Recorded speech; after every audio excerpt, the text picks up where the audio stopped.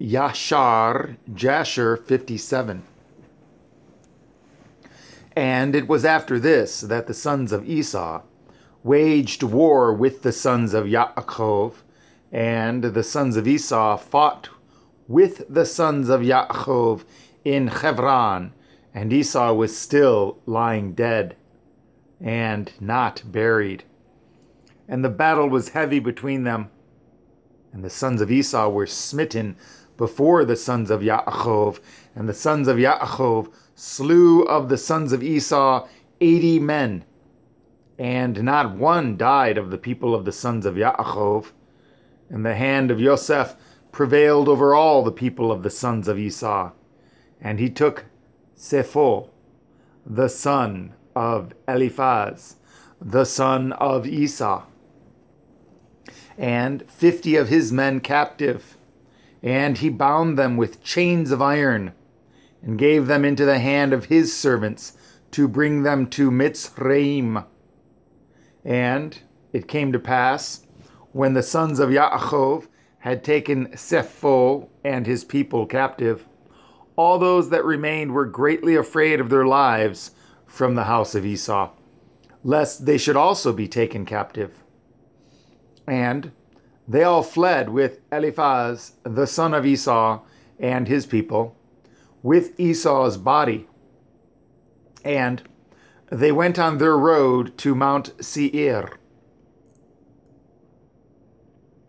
And they came unto Mount Seir, and they buried Esau in Seir, but they had not brought his head with them to Seir, for it was buried in that place where the battle had been in Hebron. And it came to pass, when the sons of Esau had fled from before the sons of Yaakov, the sons of Yaakov pursued them unto the borders of Seir, but they did not slay a single man from amongst them when they pursued them. For Esau's body, which they carried with them, excited their confusion. So they fled and the sons of Yaakov turned back from them and came up to the place where their brethren were in Hebron. And they remained there on that day and on the next day until they rested from the battle. And it came to pass on the third day, they assembled all the sons of Seir, the Chori, and they assembled all the children of the east, a multitude of people, like the sand of the sea. And they went and came down to Mitzrayim to fight with Yosef and his brethren, in order to deliver their brethren. And Yosef and all the sons of Yaakov heard that the sons of Esau and the children of the east had come upon them in battle in order to deliver their brethren. And Yosef and his brethren and the strong men of Mitzrayim went forth and fought in the city of Ra'amachech. And Yosef and his brethren dealt out a tremendous blow against the sons of Esau and the children of the east. And they slew of them six hundred thousand men, and they slew amongst them all the mighty men of the children of Seir, the Chari. There were only a few of them left, and they slew also a great many of the children of the east and of the children of Esau, and Eliphaz, the son of Esau, and the children of the east all fled before Yosef and his brethren. And Yosef and his brethren pursued them until they came unto Kukot, and they yet slew of them in Kukot thirty men.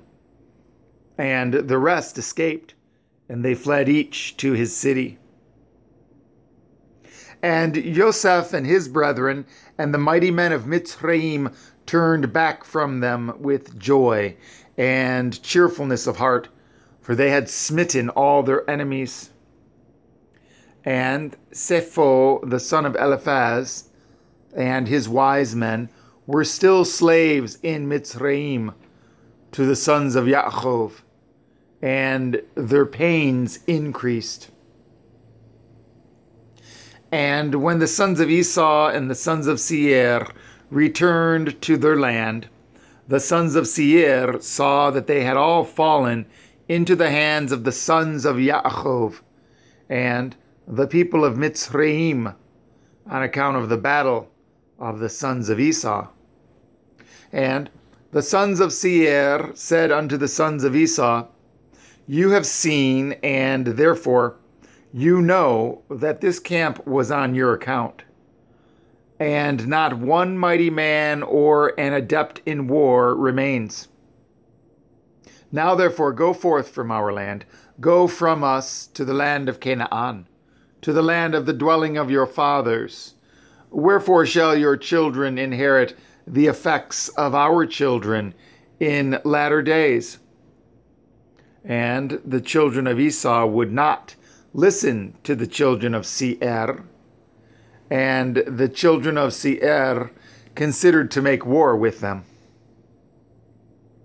And the children of Esau sent secretly to Angeas, king of Africa, the same is Dinhabah, saying, Send unto us some of your men, and let us, rather, let them come unto us, and we will fight together with the children of Seir, the Chori, for they have resolved to fight with us, to drive us away from the land.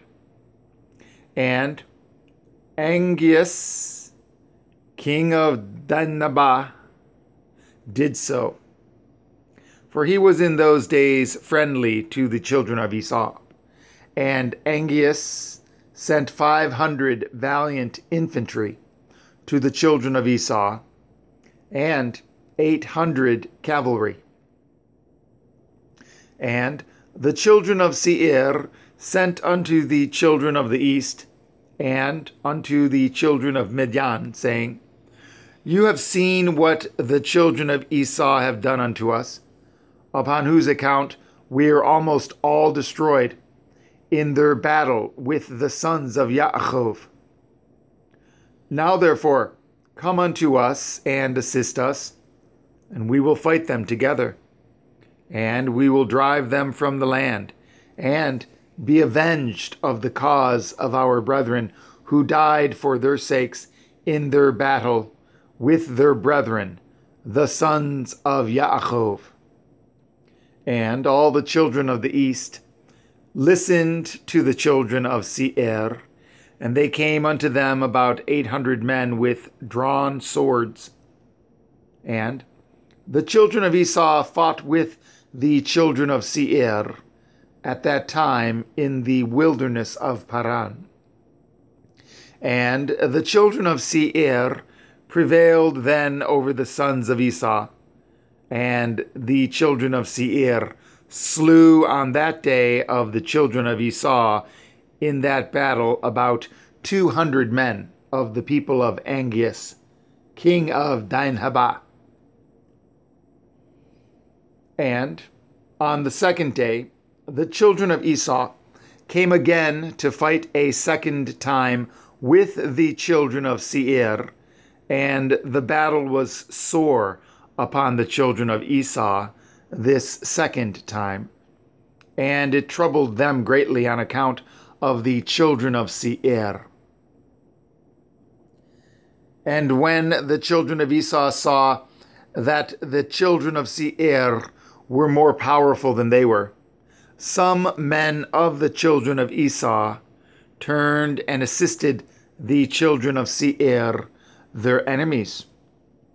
And there fell yet of the people of the children of Esau in the second battle fifty eight men of the people at Angeas, king of Dinhabah. And On the third day, the children of Esau heard that some of their brethren had turned from them to fight against them in the second battle. And the children of Esau mourned when they heard this thing. And they said, What shall we do unto our brethren who turned from us to assist the children of Seir, our enemies? And the children of Esau again sent to Angeas, king of Dinhabah, saying, Send unto us again other men, that with them we may fight with the children of Seir. For they have already twice been heavier than we were. And Angeas again sent to the children of Esau about six hundred valiant men, and they came to assist the children of Esau. And in ten days' time, the children of Esau again waged war with the children of Seir in the wilderness of Paran. And the battle was very severe upon the children of Seir. And the children of Esau prevailed at this time over the children of Seir. And the children of Seir were smitten before the children of Esau. And the children of Esau slew from them about 2,000 men. And all the mighty men of the children of Seir died in this battle, and there only remained their young children that were left in their cities. And all Midian and the children of the east betook themselves to flight from the battle. And they left the children of Seir and fled when they saw that the battle was severe upon them. And the children of Esau pursued all the children of the east until they reached their land. And the children of Esau slew yet of them about two hundred and fifty men, and from the people of the children of Esau there fell in that battle about thirty men. But this evil came upon them through their brethren turning from them to assist the children of Seir, the Kori. And the children of Esau again heard of the evil doings of their brethren, and they again mourned on account of this thing. And it came to pass after the battle, the children of Esau turned back and came home unto Seir, and the children of Esau slew those who had remained in the land of the children of Seir. They slew also their women and little ones. They left not a soul alive except fifty young lads and damsels, whom they suffered to live. And the children of Esau did not put them to death. And the lads became their slaves, and the damsels they took for women. And the children of Esau dwelt in Seir in the place of the children of Seir, and they inherited their land and took possession of it. And the children of Esau took all belonging in the land to the children of Seir, also their flocks, their bullocks, and their goods, and all belonging to the children of Seir did the children of Esau take. And the children of Esau dwelt in Seir, in the place of the children of Seir, unto this, this day. And the children of Esau divided the land into divisions to the five sons of Esau, according to their families. And it came to pass in those days that the children of Esau resolved to crown a king over them in the land of which they became possessed.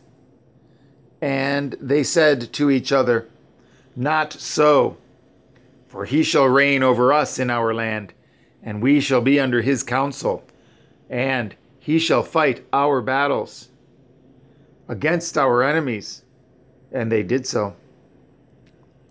And all the children of Esau swore, saying, That none of their brethren should ever reign over them, but a strange man who is not of their brethren.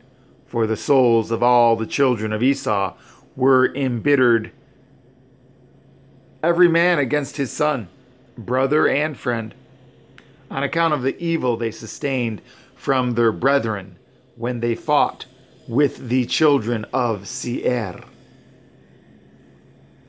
Therefore, the sons of Esau swore, saying, From that day forward they would not choose a king from their brethren, but one from a strange land unto this day.